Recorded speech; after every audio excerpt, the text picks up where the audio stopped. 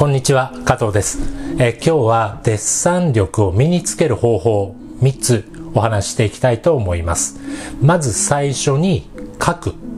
1つ目書く。皆さんデッサンを始めるっていうのは、例えばこう自分はこんな絵を描きたいとか、こんな風になりたいなっていう目的があって、それに必要なデッサン力っていうのを基礎勉強としてね、身につけたいと思うこと多いと思うんですが、そういった時にどういう方法で身につけていくのか。とりあえず、まあいろんな人にこう話を聞いたりすると、まずは書けばいいんだよって言って言われること多いと思います。そうやって、まあがむしゃらに何枚も何枚も、とにかく枚数書いていけば、じゃあうまくなるのかっていうと、なかなか思い描いたようなイメージでうまくなっていかないっていうことも多いと思うんですね。デッサン力を身につけていくための一つの要素として書くっていうことなんですけれども、なかなか結果につながってこないことが多いです。特に独学で絵を描かれている方、何枚も何枚も描いていくんだけれども、なんか行き詰まってしまうとか、一体これで方向性が合っているのかどうか、悩まれている方も多い気がします。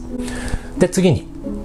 見る。書くの次、見るですね。見るについてちょっとお話しします。デッサン力を身につける上で、書くと同じくらい見る、えー、感じ取るっていう力が大事になってきます。なかなかね、人間、人っていうのは、見てるつもりで見てない。分かってるつもりで分かっていないっていうことが多いんですね。で、この見る力を手に入れることによって、実際自分がこれまでそのものを感じ取っていなかったな、見ていなかったな、分かっていないけれども分かったつもりで描いていたなっていうことに気づく。見る力を身につけると、自分が見ていなかった、見ていないことが分かるようになる。それが見る力。になると思います。で、最後、えー、考えるについて。えー、これは、ものを現象、例えば、まあ、どうでしょうね。今、光が当たって影ができている。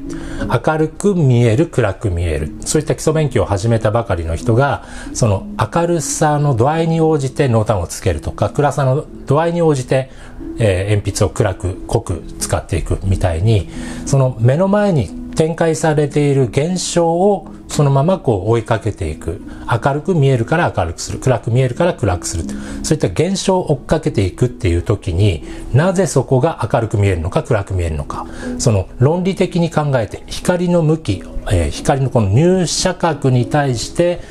直角に90度にこう当たる面っていうのは一番明るいんですけれども、その角度がこう光が斜めに当たるようになるとだんだん暗くなっていくっていうようなね。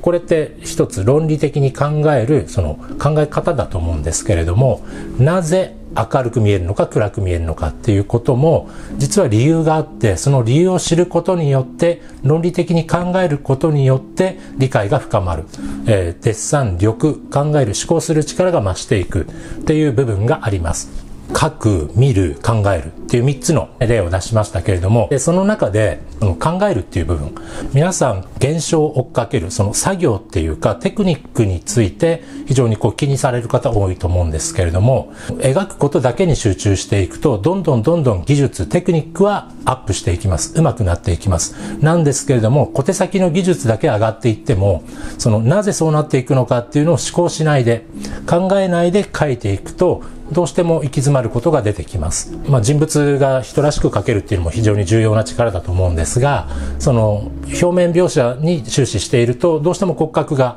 ポーズを変えた時に骨格が合わないというかバランスが崩れてしまうとか自然な動きが出せない。そういったのにぶち当たる人はやはりあの解剖学であったり骨学であったりそういった筋肉についての知識とか経験が必要になってくると思います。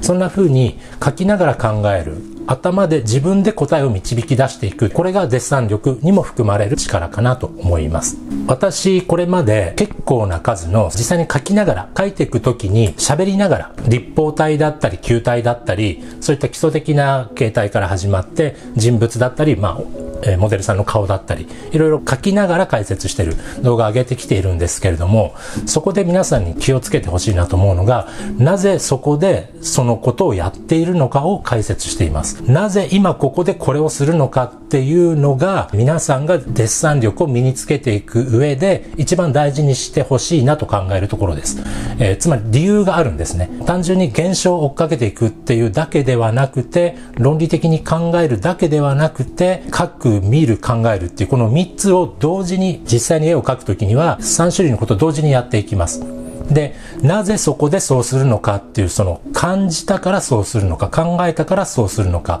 現象を読み取ったからそうするのかっていう、まあそれぞれ複合的に描く絵にフィードバックしていくわけですけれども、その時になぜっていうのをこれまで上げた動画の中から読み取っていただきたいなと思っています。今日はデッサン力を身につける方法を3つお話ししました。書く、見る、考える。今日の動画は以上になります。また次の動画でお会いしましょう。さよなら。